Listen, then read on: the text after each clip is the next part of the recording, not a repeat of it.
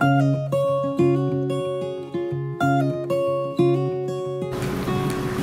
So, so where Good morning. where are we going, Lisa? We're going to Cancun. We're going to Cancun, and we're flying this time. So we're here in the, the Philadelphia airport, and uh, we're about ready to go to the USO lounge, and then uh, we'll see how it is, and uh, we'll hop on our plane. I don't know. I might want to stay right here though.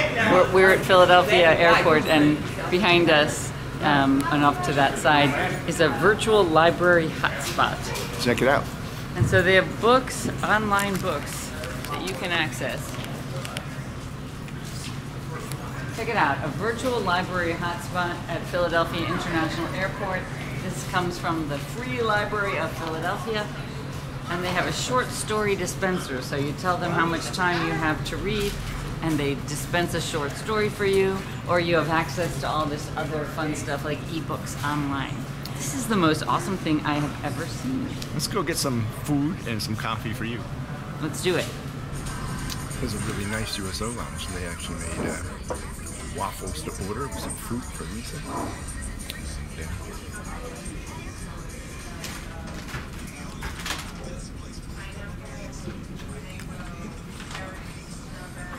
Bar. Some scrambled eggs there. We're waiting to board Southwest. Hola! And uh, we got great boarding position here on Southwest this time. A45, A51. So uh, that's just to St. Louis. You know, St. Louis, uh, I think it's even better. Uh, St. Louis, St. Louis to Cancun. It's a nice little terminal here for Southwest. 50 people on this flight. Everyone could have a set of three seats to themselves if they wanted. Look at all these empty seats. Because no one wants to go to Cancun here in November. I want to go to Cancun in November. How about you? You want to go to Cancun in November? I'd love to go to Cancun in November. I think you're going to Cancun in November. And here we go. Um, we're gonna start. Uh, we're gonna start the drinking here pretty soon. And uh, it's uh, too bad I'm not super tired because I slept on the last flight. Otherwise, I just curl up on uh, one of these three seats. All right. So why don't you tell us what the weather forecast is in Cancun? Well, I think there might be one night where there's a little bit of rain in about eight days from now. But for the most part, it looks like it's in the low 80s during the day, mid 70s at night, going down to as low as 65 at night.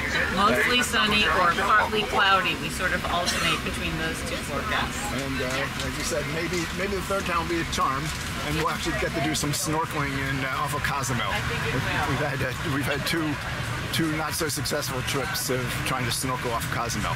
So all right, closing it down. They're shutting everything off. They're gonna be closing the doors pretty soon, and we're gonna be taking off and starting the drinking. Well, this is the entry into our condo here in uh, Cancun. It's called the uh, Brises Complex, and this is. Uh, we're just really ecstatic about this place. Found it at the last minute because this whole trip is last minute, but uh, you know it's a perfect location. The beach is great. The uh, is a really nice pool. It's got everything everything we need here. A nice little kitchen area, living area, and people never show you the bathroom. But uh, here's a satisfactory bathroom, sink that's outside, and uh, you know we've got you know the bedroom here. We got Oh. we got Lisa, Hello. so Welcome to my oasis. her oasis. They have a little sitting room. It's just delightful in every way. It is. This is just uh, it's just great. And And then our hostess was so and then an outdoor little outdoor area where we can sit and, as she said, have coffee or whatever. But uh, this is super super nice. Super happy we found it at the last minute, and the price was right. Six ninety five. Six ninety five for nine nights. nine nights. Nine nights. Can't beat that. All right. More later. Our first night here, and we're at a little restaurant. And uh, first thing you see here is the signs. There's cocodrilos are in the lagoon. And our host already told us that there's no kayaking in this lagoon, even By the though way, there's a kayak right there. even though it looks tempting. It looks nice to be able to do that, but uh, doesn't no fishing. doesn't mean that no one does it.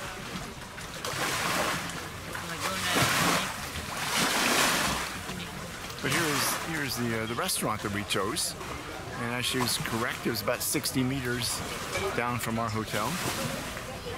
Quite cute. Very nice. Let's hope the food's good, and let's hope the food is cheap. Yeah,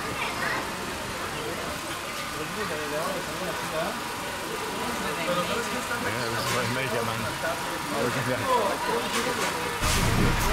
that.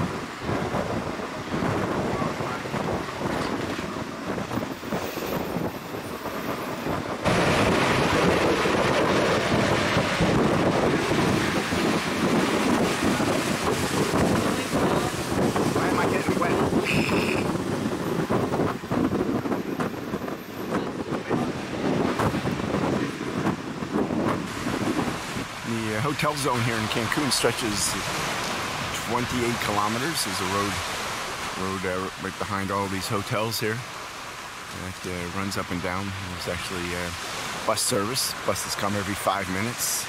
Costs 12 pesos, about uh, 60, 70 cents. And uh, you know, it's uh, very easy to get on, get off. Takes you into town, takes you to uh, to some of the more busier areas of the Cancun Strip here. We're actually in a very very quiet area, um, and uh, we actually kind of like it. Probably uh, less expensive. Beach is great. Not too many people on it. Of course, it is uh, November, but uh, no- nonetheless. Um, you know, it's easy to easy to get to places. You know, pretty pretty pretty inexpensively.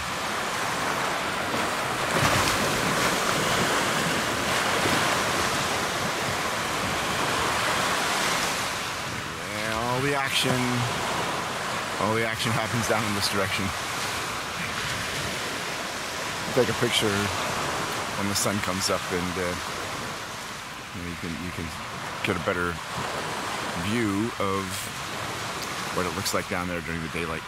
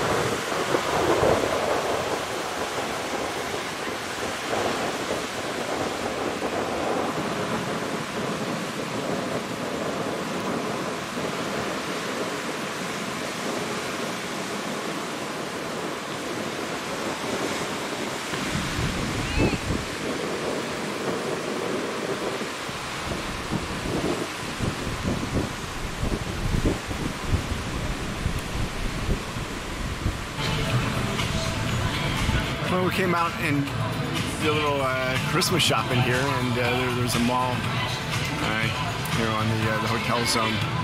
And um, we got a little late, so we decided to have some food, and we encountered one of the nicest food courts we have ever seen in our lives.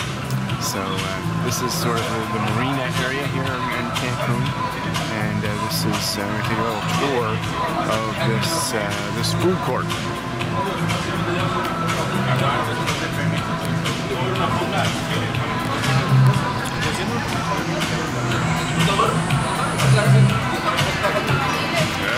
We, had, a great seat. There's Lisa waiting for me to shoot some video. Just a slew of these little individual places to order food all sorts of different types. What they are. Here's some tostadas. Pizza. what this is. I got some. I had a uh, hamburger here.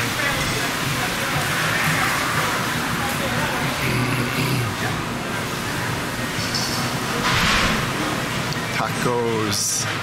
Got some steak here. Mexican Mexican cuisine here. Vietnamese street food.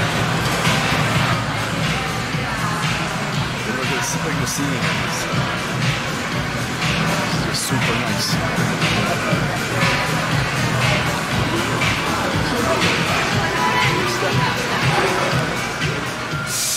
So we're in the uh, we're in the business lounge. Just waiting for our flight. Got about uh, about an hour and 15 minutes before boarding time starts. We actually have uh, great boarding numbers here on our flight back, flying through uh, Fort Lauderdale. We're A19 and A20. First time getting numbers that low ever before. So On Southwest. on Southwest, and uh, so that flight probably not going to be many people on it. We got numbers that low, but uh, check out the business lounge here. Super nice. We're like the first people here today, so uh, no food in the buffet yet. So they're, uh, I think they're cooking it up for special. Some working stations, some workstations.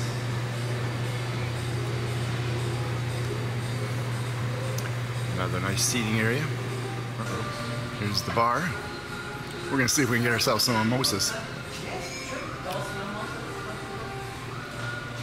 I think it, I think Lisa's gonna be successful if they can get in getting the mimosas. Excellent, way to go.